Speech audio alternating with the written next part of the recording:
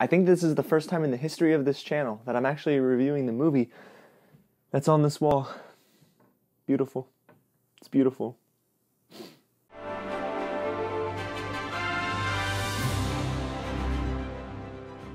What's going on, you guys? James here, and welcome to another episode of Star Wars Rewind. Now, if you don't know what that is, that's me going through each and every Star Wars episode from one all the way to The Rise of Skywalker on December 20th. You don't want to miss out, trust me. So go ahead and hit the big red button below, subscribe to the channel, and tap the bell right next to it so you get notified each time I drop something new. Don't forget to like this video, share it with all your friends in the galaxy, and in the comments below, let me know what you think about Empire Strikes Back. I love this movie. I really do. Alrighty, you guys. So, um, I was really excited for this rewatch, and now I'm even more excited to talk to you about it. So let's dive right into Star Wars Episode 5 Empire Strikes Back. Star Wars Episode 5 was released in 1980, directed by Irvin Kershner, and written by Leigh Brackett and Lawrence Kasdan. Now, this is a huge departure from Episode 4 because, well, George Lucas wrote and directed the first film in the original trilogy, and also wrote and directed all of the films in the prequel trilogy, but we, we don't talk about that. We already reviewed that. You can go back and check that out. But now in episode 5, this takes a different direction, and most notably is the tone of the film.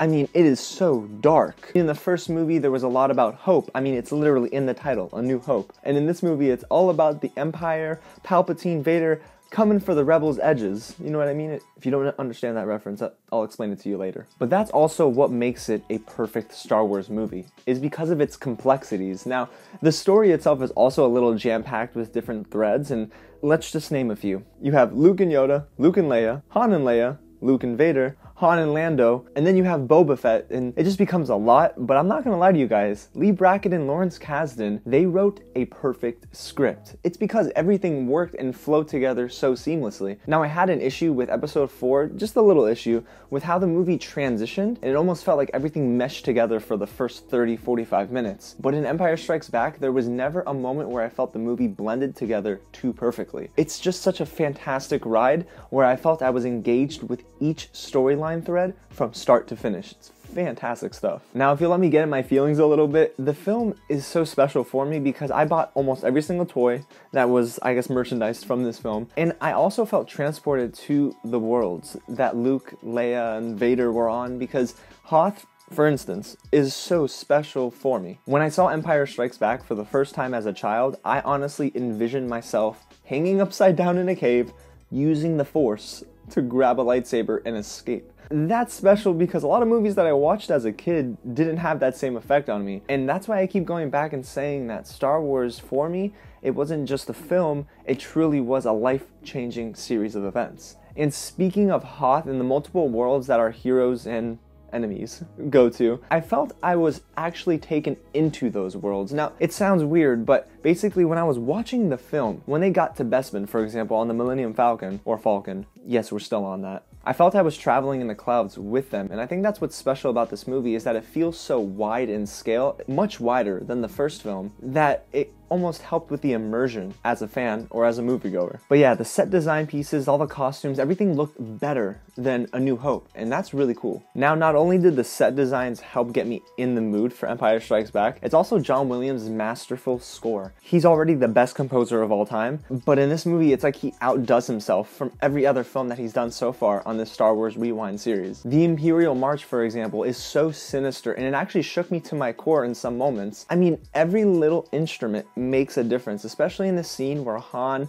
Lando, Leia, Chewie, and the gang get into Bespin and then they go into this dining room table and you see Vader kind of just like lift up. The score helped make that so much more sinister because there was an impact there. So yeah, Empire Strikes Back is great visually, but you have to give props to John Williams because the guy is just a masterclass in how to compose and produce a score. Okay, so let's switch gears to the acting department because that also got much better with this sequel. Mark Hamill as Luke Skywalker really had more layers to him as a character, and I love that he was battling with being emotional rather than being calculated as he starts to train to become a Jedi. I mean, those scenes with him and Yoda were really good. I think it only works because Mark Hamill kind of bleeds that emotion onto the screen. He becomes a very relatable character for so many people watching this movie. And then there's the banter between Harrison Ford and Carrie Fisher Their characters bring all that chemistry that I'd imagine they had off screen into this movie. I mean, Han Solo's one liners are amazing. Princess Leia kind of just like throwing it back at him is just so cool to witness. And then you have one of the more famous one liners, or maybe because I'm a sap, I love this, but when she says, I love you,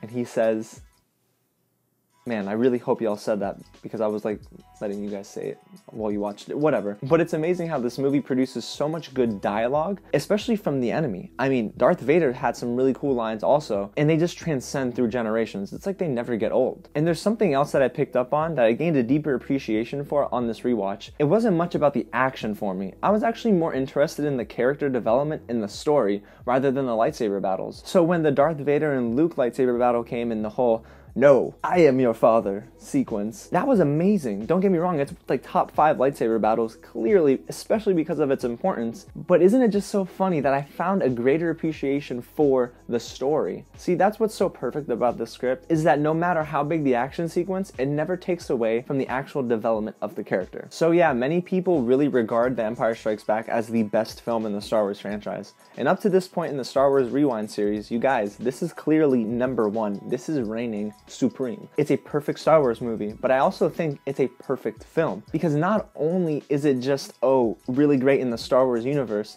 as a sci fi film, as an action movie, everything worked perfectly for me. Oh, and uh, yeah, I was here for the Yoda pettiness you know, on Dagobah. Alrighty, you guys, so there you have it. That's my take on The Empire Strikes Back. Now, listen, I don't have to tell you this again, right? but it is number one. I'm just curious to hear what you guys think about Empire Strikes Back, so in the comments below, let me know where episode 5 ranks for you. And also, if you haven't already, go ahead and hit the big red button below and subscribe to the channel if you liked everything you just heard and saw. And trust me, you're not going to want to miss out as we get closer to the Rise of Skywalker, so hit the bell right next to it so you stay up to date with anything new that I drop here at the channel. Oh, and uh, also, don't forget to like this video and share it with all of your friends and family in the galaxy. And if there's like an uncle that you kind of don't like, he's a part of the Empire, you can share it with him too. Alrighty guys, thanks so much for watching and I'll catch you at the next screening.